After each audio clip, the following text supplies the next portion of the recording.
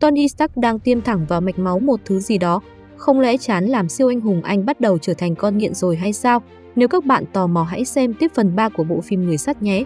Sau những biến cố đã xảy ra, Tony Stark đã quay về ở ẩn trong căn biệt thự sang trọng của mình, tạm thời chờ đợi dưới tư cách một tỷ phú giàu có được yêu mến và gác danh phận siêu anh hùng sang một bên.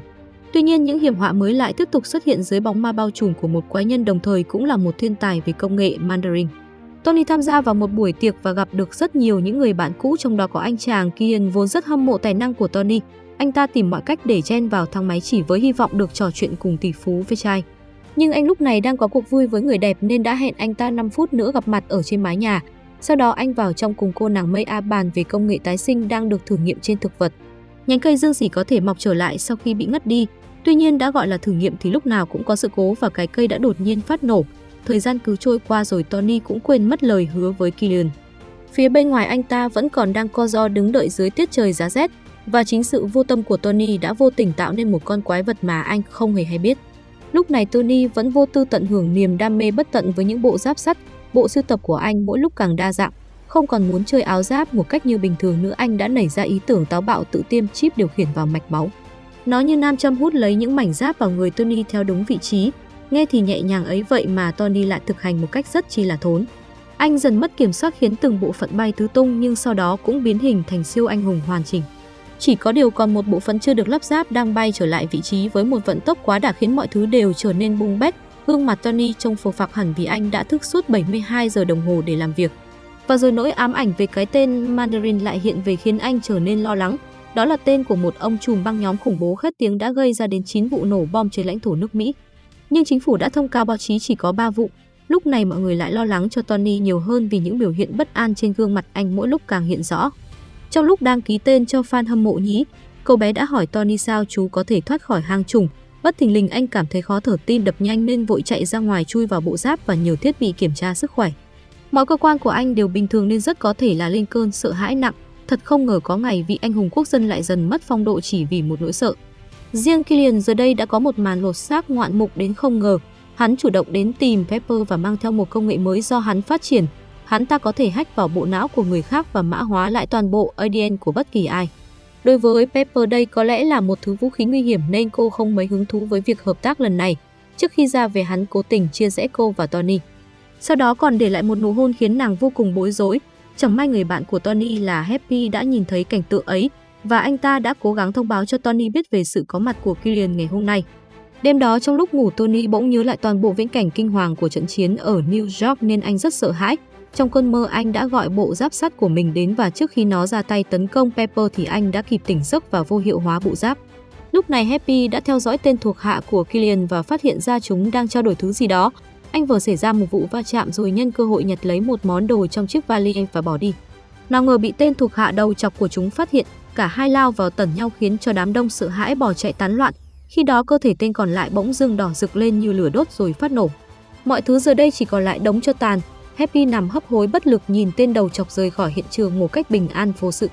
Hiện anh ta rơi vào tình trạng hôn mê do bị thương khá nặng. Tony rời khỏi bệnh viện thì bị cánh báo chí bao vây. Anh phát hiện ra tên Killian nên vô cùng tức giận gửi hẳn địa chỉ nhà mình và thách thức tên Mandarin dám tìm đến đối mặt với mình như những người đàn ông thực thụ. Nói xong Tony giật phăng chiếc điện thoại của hắn rồi thả nhẹ một câu cứ tính tiền với tôi, đúng là người có tiền nó phải khác. Trở về nhà riêng, Tony thu thập tất cả tài liệu từ các tổ chức chính phủ để điều tra về cái tên Mandarin ấy. Cùng lúc đó kết quả điều tra hiện trường cho thấy nhiệt độ của vụ nổ lên đến hơn 3.000 độ. Bất kể những vật gì ở gần đó trong phạm vi 11,4 mét đều sẽ tan biến ngay tức khắc. Tuy nhiên họ lại không phát hiện ra bất kỳ một mảnh bom vỡ nào. Tony chợt phát hiện ra ánh mắt của Happy đang nhìn về một hướng. Anh lần theo và thấy được hình ảnh của sợi dây huy hiệu của người lính, từ đó, Tony điều tra sâu vào những nơi Mandarin từng tấn công và tìm ra được đặc điểm chung của tất cả các vụ nổ đều ở 3.000 độ. Qua đó anh khoanh vùng hai người lính khả nghi nhất và lập trình chuyến bay chuẩn bị cuộc điều tra. Tuy nhiên lúc này cô nàng Mây A ngày trước từng cùng anh nghiên cứu công nghệ tái sinh thực vật lại đến tìm Pepper vì nổi cơn ghen nên hai người cãi nhau khi thế. Đột nhiên có một quả tên lửa bất ngờ bay thẳng vào nhà của Tony khiến anh không kịp trở tay.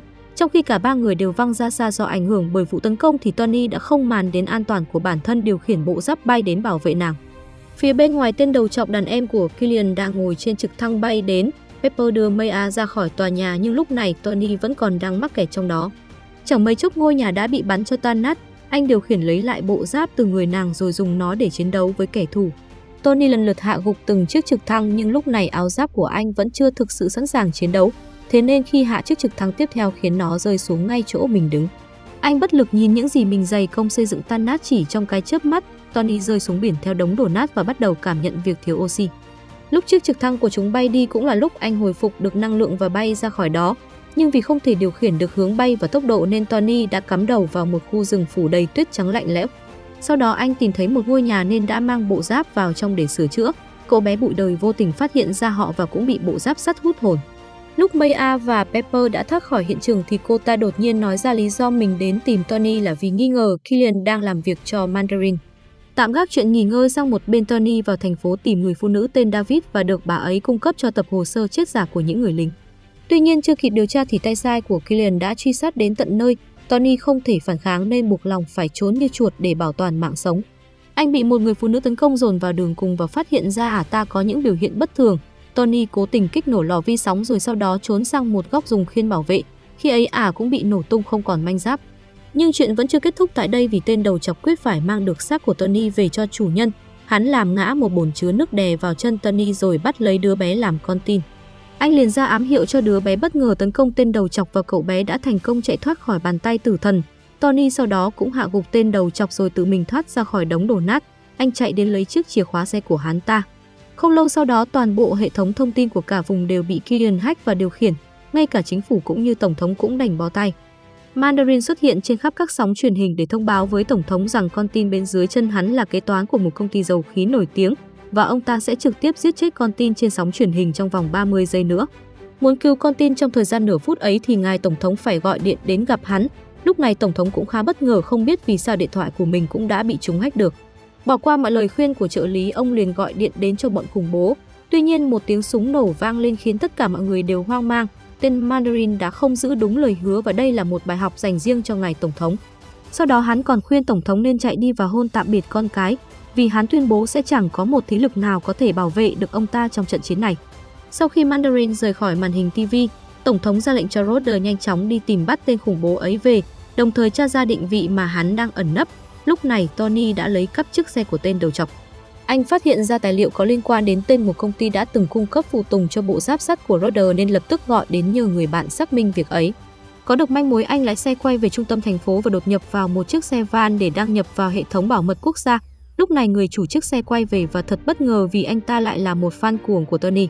Anh ta cố gắng bắt chước Tony cả về ngoại hình và xăm hẳn gương mặt của người sắt lên cánh tay. Tuy nhiên đây không phải là lúc đùa giỡn nên Tony đã dùng nét mặt vô cùng nghiêm túc yêu cầu anh ta giúp mình lấy lại tập tin đã bị bọn khủng bố mã hóa. Sau khi xâm nhập vào được tập tin của bọn khủng bố, Tony đã xem được toàn bộ những video phỏng vấn bọn tay sai của Mandarin bao gồm cả Killian. Qua đó có thể thấy Killian chính là người quản lý kế hoạch tiến hóa nhân loại, trong lúc bọn chúng đang thử nghiệm việc đưa huyết thanh Extreme vào cơ thể của những tên tay sai. Vì quá trình thử nghiệm có trục trặc nên một tên đã phát nổ nhưng may mắn chúng đã kịp thời di tản ra ngoài. Vậy là câu hỏi trước nay Tony luôn thắc mắc cũng đã có lời giải đáp. Lúc này Pepper đang ở cùng với Maya nhưng điều họ thật sự không ngờ là tên Killian đã lập kế hoạch cho nhân viên khách sạn giả vờ giao thức ăn rồi từ đó tấn công và kiểm soát Pepper. Maya cũng là người của Killian, nhưng cô ta lại cố ý bảo vệ Tony vì cho rằng dự án của họ rất cần đến sự phối hợp của anh ấy để thực hiện. Cộng thêm việc có Pepper làm con tin thì cô chắc rằng Tony sẽ chẳng thể nào từ chối lời mời hợp tác lần này. Trong khi đó, tại một xưởng may ở Pakistan, Roder đột nhiên xuất hiện và giải cứu cho những nữ tù binh. Tuy nhiên sau đó anh lại mắc bẫy của một cô gái khi cô ta đang cố tình nắm tay Roder và khiến anh ngất xỉu bằng chính lượng nhiệt trong cơ thể mình. Còn phía Tony đang vô cùng khó khăn khi phải đối mặt với nỗi sợ mỗi khi nghe đến hai chữ New York. Lúc này cậu bé hỏi chú có phải là thợ máy hay không? Sao chú không thử chế tạo ra một thứ gì đó? Tony dần dần lấy lại được sự tự tin và vượt qua được nỗi sợ. Anh bắt đầu đến siêu thị mua những thứ cần thiết cho việc chế tạo ra một bàn tay hủy diệt, rồi sau đó một mình đi đến xào huyệt của bọn khủng bố. Anh đột nhập vào trong dùng chính chiếc bao tay ấy để khiến tên tay sai bất tỉnh, sau đó nhẹ nhàng cướp lấy khẩu súng của hắn rồi âm thầm tiến vào lục soát một căn phòng. Tuy nhiên bên dưới lớp chăn ấy lại là hai cô em xinh tươi. Nghe thấy tiếng bước chân đến Tony vội tìm chỗ nấp và phát hiện ra tên Mandarin. Anh chĩa súng vào người hắn khiến đối phương giật bắn người chỉ biết giơ hai tay lên đầu hàng vô điều kiện và thầm mắng đờ mờ nó. Hóa ra tên trùng khủng bố này cũng không đáng sợ như những gì anh đã nghĩ. Hắn thông báo cho anh rằng toàn bộ súng ống ở đây đều là đồ giả và hỏi Tony có muốn nướng khoai với hai cô em kia hay không. Nhận ra tên Mandarin này là hàng fake nên Tony vô cùng tức giận uy hiếp hắn khai ra vị trí của tên Mandarin thật.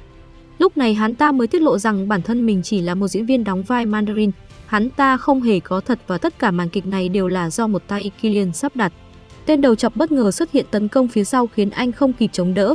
Kết quả là Tony bị đánh ngất đi còn Mandarin e rằng cũng phải chịu hình phạt vì tội lắm lời làm lộ bí mật của chúng. Killian đến trước mặt Tony và nhắc về buổi hẹn gặp trên nóc nhà, bị leo cây hơn một tiếng đồng hồ khiến hắn tuyệt vọng và nảy sinh ra lòng thù hận. Giờ đây hắn cũng phải để cho Tony nếm thử mùi vị của sự tuyệt vọng nó đau đớn đến cỡ nào. Hắn cho anh nhìn thấy hình ảnh Pepper đang quằn quại vì chất độc extreme và cô ấy có thể sẽ nổ tung nếu như có ý nghĩ kháng cự. Roder lúc này cũng bị bắt về căn cứ để chấn lột bộ giáp sắt, nhưng có cái nịt mà ăn được của anh một đồng chứ đừng nói là nguyên cục sắt to tổ trảng như vậy. Roder thoát khỏi bộ giáp và lao ra phản công. Killian tức giận há mồm phun lửa vào Roder nhưng anh ta không mấy sợ hãi, chỉ là hơi ngạc nhiên mày nghĩ nướng tao thì có làm ta đen hơn được không? Hắn không muốn mất thời gian chơi với Roder nên để anh ta lại cho tên chọc xử lý rồi đi đến phòng Tony. Lúc hắn chưa tới nơi thì Tony đã tỏ ra cao thượng đếm từ 1 đến 5 cho hai tên tay sai thời gian để thoát khỏi đây nếu không muốn nhiều xương. Ơ thằng này ngáo à, tao sự sun cả vòi rồi này. Anh tiếp tục chơi trò bàn tay của em đây em múa cho các anh xem. Và từ bên ngoài bàn tay hủy diệt đã bay thẳng vào đầu chúng rồi tự đeo vào tay Tony. Cảm thấy tự tin hơn anh triệu hồi luôn cả bàn chân hủy diệt rồi nổ ra một trận đấu súng với chúng. Sau khi dẹp gọn hai tên cùi bắp ấy, Tony tiếp tục triệu hồi thêm những mảnh giáp khác thành một bộ đồ hoàn chỉnh. Nhưng định bay thì lại hết điện. Bay không được thì ta đành phải quốc bộ. Rudder sau khi nghe thông báo, Tony đã tẩu thoát liền, lập tức tìm cách liên lạc với người bạn, và sau đó cả hai đã hẹn gặp nhau tại nhà chính. Họ bắn chết bọn tay sai rồi chĩa súng vào Mandarin khiến hắn ngơ ngác. Lúc nhận vai tôi không nghĩ là sẽ có người bị thương, bộ tính lừa tôi hả?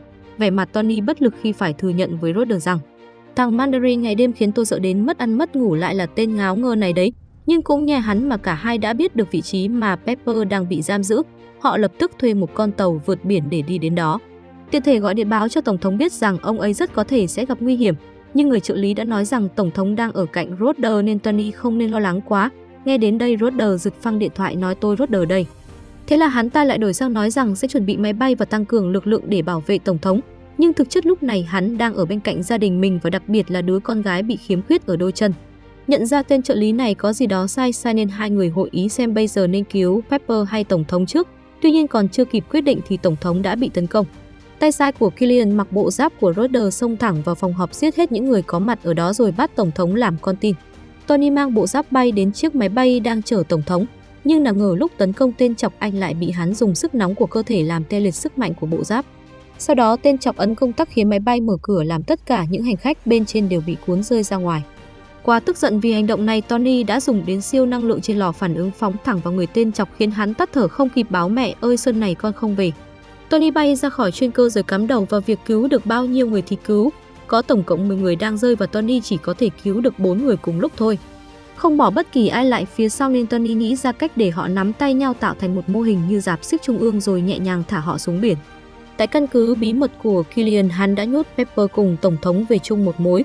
Sau đó chúng mặc giáp sắt cho Tổng thống và treo ông ấy lên cao như kiểu hành quyết công cộng. Tony và Rodder không thể chậm trễ nữa. Cả hai liều mạng xông vào trong đọ súng với bọn lính canh. Nhờ cậu bé ở nhà làm theo hướng dẫn mà Tony chỉ, anh đã có thể tập hợp tất cả những bộ giáp mà mình có đến đây để cùng ăn mừng Giáng sinh với bọn Killian. Dưới sự chỉ đạo của Tony chẳng mấy chốc biệt đội người sắt đã quát sạch bọn tay sai, nhưng phía anh cũng có phần thiệt hại đáng kể. Vụ nổ đã khiến nàng bị cháy xém quần áo và đống đổ nát đè lên người. Thế nhưng khi Tony định giúp cô thoát ra, Pepper đã ngăn anh lại. Trong lúc hai người đang sức mướt với nhau thì tên Killian bất ngờ thò tay lên tấn công. Đen đuổi thay người sắt có vũ khí bí mật khiến hắn thật mẹ nó một canh tay. Nhiệt độ cánh tay ấy khiến sàn nhà chảy ra và nàng cũng theo đó rớt xuống bên dưới chiếc cần cầu. Tony vội cởi bỏ bộ giáp và chạy ra ngoài gọi bộ giáp khác đến nhưng anh đã thất bại khi không thể mặc nó vào người như dự định. Phía bên kia Roder hạ gục hai tên lính cản đường sau đó đu dây cứu ngài tổng thống thoát khỏi biển lửa. Tony lúc này đang cận kề bên nàng và đề nghị cô buông tay ra, anh hứa sẽ giữ chặt tay cô. Nhưng Pepper đã không tin tưởng làm theo chỉ dẫn của Tony nên bị chiếc cần cầu hất rơi xuống. Khoảng cách giữa hai bàn tay chỉ thiếu một chút thôi có lẽ Tony đã giữ được cô ấy rồi. Anh bất lực nhìn Pepper rơi xuống biển lửa mà chẳng thể nào làm gì hơn. Tên khốn Killian biến thành dương quá rồi mà không chịu đầu hàng vẫn ngoan cố đến hơn thua với Tony ngoại trừ sức mạnh của bộ giáp ra anh còn có đầu óc hơn người. Trong trận chiến anh dùng chiến thuật ve sầu thoát xác để đổi hết bộ giáp này đến bộ giáp khác, song lại có sự trở về của bộ giáp MK42 giúp sức nên anh vô cùng tự tin. cuối cùng con trai cũng đã về với ta. Ấy vậy mà thằng con nó lại tự va vào cột rồi gãy mẹ chân thành đống sắt vụn. Tony lắm mưu nhiều kế nên đã mến tặng bộ giáp ấy cho Killian rồi nhẹ nhàng cho lệnh nổ tung nó. Thôi là xin vĩnh biệt cụ. Anh ung dung rời khỏi hiện trường và sau đó một cơn bão lửa bao trùm lấy Killian. Vụ nổ khiến cây cầu dần sụt lún nhưng Tony đã kịp thời lao ra ngoài và hợp nhất với bộ giáp của mình. Nhờ có nó, anh dù có lăn lóc cỡ nào cũng không hề hấn gì. Tuy nhiên lúc này tên khốn vẫn chưa chết vì cơ thể hắn sinh ra nhiệt nên không sợ lửa. Đang định tấn công Tony thì Pepper cũng hồi sinh từ biển lửa và tần cho hắn ta một gậy. Cô ấy giờ đây chẳng khác gì một nữ chiến binh mạnh mẽ đến độ Tony nhìn thôi cũng cảm thấy dùng mình. Lỡ bật nóc một hôm thôi cũng đủ biết số phận sẽ ra sao. Tony bỗng ngoan như cuốn con khi nhìn thấy người yêu chạy đến chỗ mình. Ơ em định nổi điên với anh đấy à? Anh có làm gì đâu anh thề. Hóa ra nàng chỉ mượn đỡ cặp đùi của Tony làm bệ phóng để đấm vỡ alo con người sắt rồi mượn luôn bàn tay của nó tấn công Killian. Sau khi hạ gục, kẻ thù cô mới hiểu lý do vì sao anh không thể bỏ được niềm đam mê với những bộ giáp. Mọi chuyện cuối cùng đã kết thúc, tên trợ lý tổng thống cũng bị bắt. Mandarin bị giải đi trước hàng ngàn người dân hiếu kỳ vây quanh nhưng ông vẫn lạc quan xem họ như fan hâm mộ của mình.